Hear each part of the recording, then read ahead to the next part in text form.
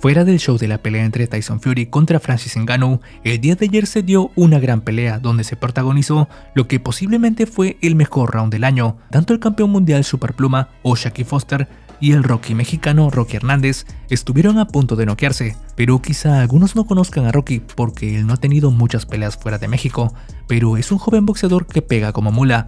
Antes de la pelea tenía un porcentaje de knockouts del 92%, y es que de 34 victorias, 31 eran por knockout. Un mexicano creo que es sinónimo de guerra. Yo voy a ser campeón mundial y tengo que exigirme al, al doble. Voy a luchar día con día y pelea tras peleas para que ese momento llegue y sea un peleador reconocido mundialmente. Y si bien no era el favorito para este encuentro, tenía todos los elementos para ganar. Su estilo agresivo y fajador lo hacían el retador perfecto para perforar la guardia estilista de Foster. Además, el hecho de que esta pelea se haya realizado en México y el hecho de que Rocky tenía las intenciones de vengar a sus compatriotas Rey Vargas y Miguel Román lo motivaban para que saliera la pelea con determinación de ganar y hacer historia, pero lamentablemente esta pelea finalizó en masacre. Foster desde un principio demostró su gran técnica, y es que desde el primer round se vio que sus habilidades defensivas fueron un gran problema para Rocky, quien tardó en entrar en ritmo. A pesar de los intentos de Rocky por conectar golpes potentes, el estadounidense evitó los ataques y utilizó el jab para mantenerlo a raya.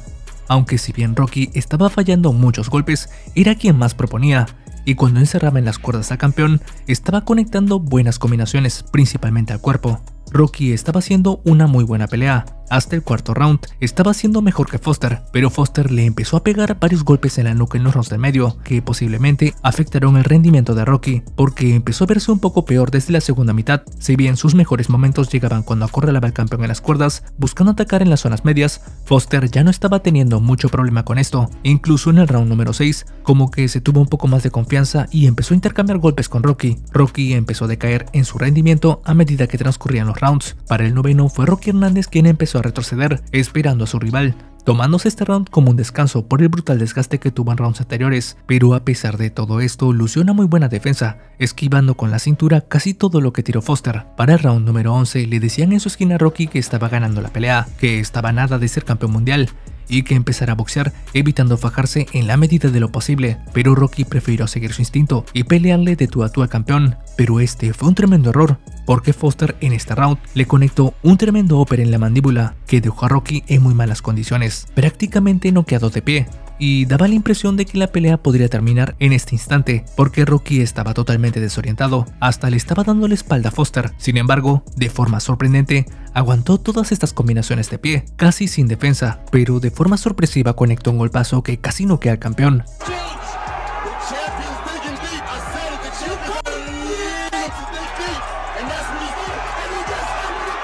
Y es que Foster se confió al tratar de finalizar la pelea, exponiendo mucho su mandíbula. Creyó que el mexicano estaba nada de ser noqueado y no se esperó que lo pudieran contragolpear. Sin duda, en ese momento subestimó la pegada de Rocky. No por nada tenía un porcentaje de knockouts tan alto. El campeón no tuvo más opción que recurrir a las cuerdas y Rocky empezó a poner presión conectando una tremenda cantidad de golpes, pero si Rocky hubiese tenido un poco más de cardio en estos momentos, podría haber apretado el acelerador y finalizar a Foster, porque de verdad que estaba muy lastimado y le estaba entrando prácticamente todo lo que lanzaba Rocky. Sin duda en ese round hizo honor a su apodo, pero creo que debió ahorrar un poco más de cardio para estos rounds. Lamentablemente en el último round, cuando lo que debía hacer Rocky Hernández era mantenerse calmado y boxear algo similar a como lo hizo en el round número 9. Estando a la defensiva, Rocky, no sé si para asegurar la victoria, empezó el round buscando presionar y mandar hacia atrás a Foster, pero entró muy mal y perdió el balance al tratar de contragolpear. El campeón aprovechó este pequeño hueco defensivo que dejó Rocky y lo contragolpeó con un gancho en corto, que puso en muy malas condiciones al retador, y a partir de ahí le dio una verdadera paliza, mandándolo a la lona en dos ocasiones, luego de conectarle una cantidad innumerable de bombazos. Fue sorprendente como Rocky se ponía de pie cada vez que caía, aguantando hasta los últimos segundos del round, pero finalmente el referee detuvo la pelea, faltando solo 29 segundos.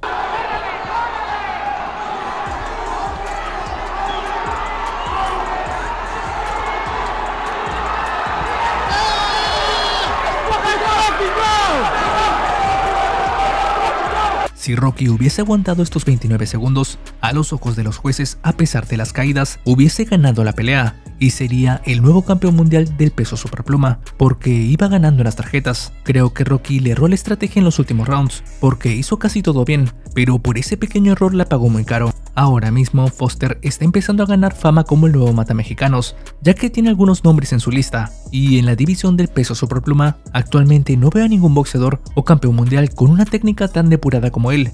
Su boxeo es muy limpio. Rocky tenía el estilo para noquearlo, porque es un boxeador que sabe cómo entrar y lanzar esos volados descendentes que rompen el filichel. Creo que el único boxeador en esta división que podría ponerlo en problemas es el vaquero Navarrete, por el tema de que también es un boxeador impredecible y también tiene pegada. Creo que sus combinaciones largas lo pueden poner en problemas. Si se da esta pelea sin duda sería tremenda. Además, como sabrán, Vaquero Navarrete, luego de enfrentar a Robson con quiere pelear contra Shakur, y una pelea contra Foster le serviría para ganar experiencia contra este tipo de boxeadores estadounidenses, que son muy complicados. Además, le serviría para empezar a unificar la división. Pero dime, ¿cuál sería tu pronóstico para una pelea entre el vaquero Navarrete y Oshaki Foster?